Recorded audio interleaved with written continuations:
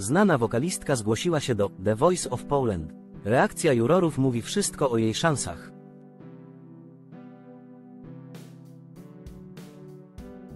Na przesłuchania do nowej edycji The Voice of Poland przyszła wokalistka, która miała już swoje 5 minut.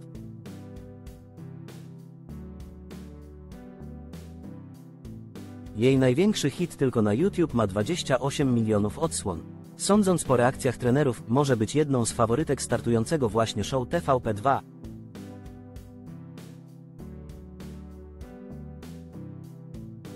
The Voice of Poland 15. Na antenie TUB 2-7 września startuje 15. edycja flagowego talent show telewizyjnej dwójki, czyli The Voice of Poland.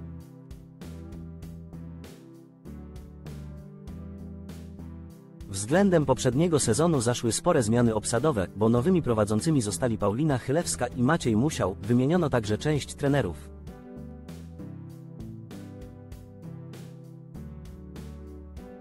Z poprzedniej serii pozostali tylko Thompson i Baron oraz Lambery, natomiast występującą obecnie w Polsacie Justynę Steczkowską i Marka Piekarczyka zastąpili powracający po długiej przerwie Michał Szpak oraz debiutujący w obrotowym fotelu Kuba Badach.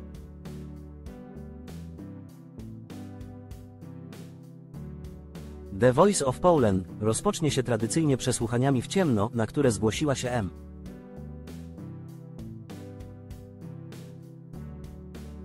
Inaczej, Anna Iwanek. Choć program jeszcze nie wystartował, o jej udziale już jest głośno, bo Ania nie jest postacią anonimową.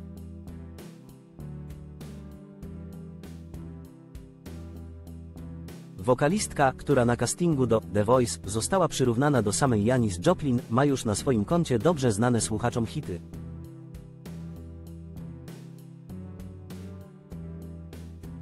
Kim jest Anna Iwanek z The Voice of Poland? Anna Iwanek, uczestniczka 15. edycji The Voice of Poland, w branży muzycznej działa od wielu lat.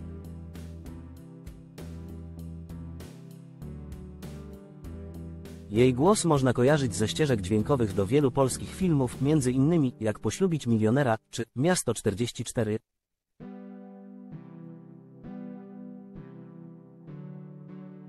Nagrany do tego drugiego razem z Rią Sokół i Piotrem Cugowskim utwór Miasto to największy aktualnie przebój w jej dorobku.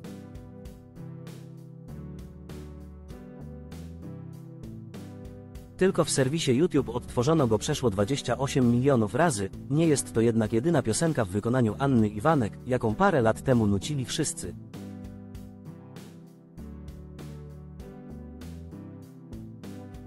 To właśnie próbująca teraz swoich sił w The Voice of Poland, wokalistka wyśpiewała piękną i długą reklamę apartu, będącą parodią świątecznego spotu wspomnianej firmy z 2020 roku.